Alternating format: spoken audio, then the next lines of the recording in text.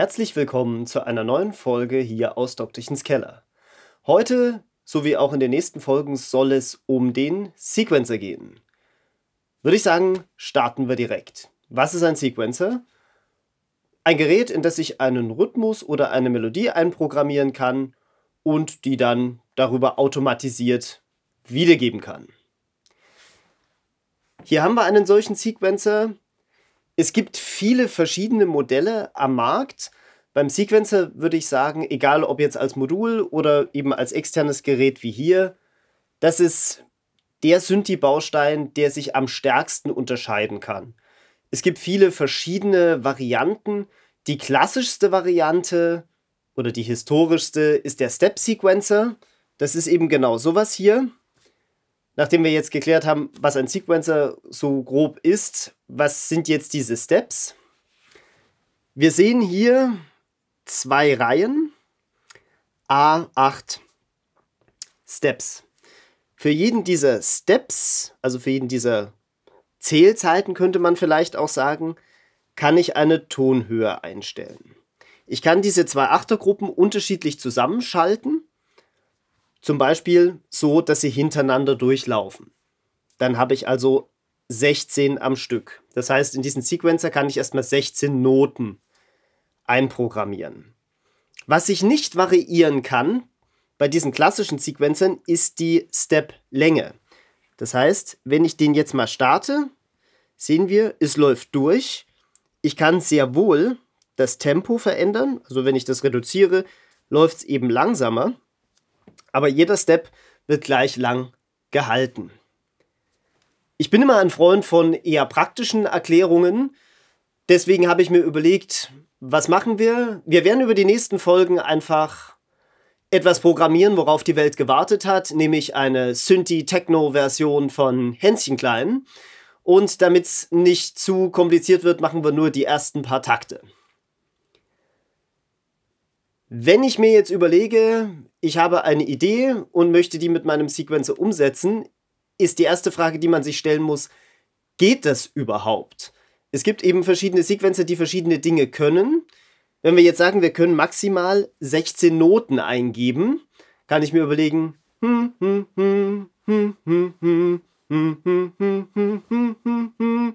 okay, wären 13. Das sollte also soweit schon mal funktionieren bleibt noch der Rhythmus. Und hier wird es ein bisschen kniffliger.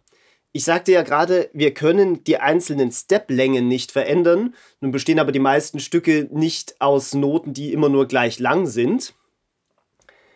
Die kürzeste Note, die ich darstellen kann, ist ein Step. Und wenn ich jetzt längere Noten habe, kann ich mehrere Steps einfach zusammenschalten. Ich habe das mal visualisiert. Das blende ich jetzt an der Stelle mal ein. Hier sehen wir ein Beispiel, wo 16 Steps gesetzt sind mit 16 gleich langen kurzen Noten. Das nächste Beispiel zeigt jetzt denselben Bereich letzten Endes, aber die untere Reihe enthält jetzt nur noch fünf Noten. Warum? Weil einfach manche von den Noten sehr lang sind. Die längste braucht acht Steps. Im schlechtesten Fall Drittes Beispiel. Wir haben eine sehr kurze und eine sehr lange Note. Da würde ich jetzt sogar nur zwei unterkriegen.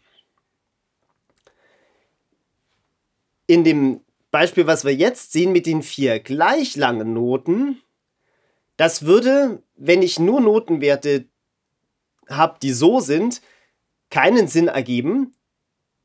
Dann würde ich einfach die Geschwindigkeit des Sequences reduzieren. Das kann ich ja machen. Es geht also immer darum, wie unterschiedlich sind letzten Endes die Notenwerte. Und da muss ich halt gucken, das kürzeste, was ich darstellen kann, ist ein Step. Und das bestimmt dann letzten Endes auch die Geschwindigkeit, mit der ich den Sequencer laufen lasse. Was wir jetzt sehen, ist offensichtlich irgendwie eine Melodie, wo drei Noten länger sind, nämlich die dritte, die sechste und die dreizehnte. Das ist nämlich genau unser Hänschenklein. Wir sehen also, es passt in diese 16 Steps gerade so rein. Heißt aber auch, mit diesem Sequencer können wir unsere Idee auf jeden Fall schon mal umsetzen. Wie das mit der Programmierung dann im Weiteren verläuft, schauen wir uns in den nächsten Videos an. Es werden mehrere werden, einfach weil das Thema doch etwas komplexer ist. Also nächste Woche wieder einschalten zur Sprechstunde. Es gilt wie immer liken, abonnieren und die Glocke läuten, damit ihr nichts verpasst. In diesem Sinne, gehabt euch wohl.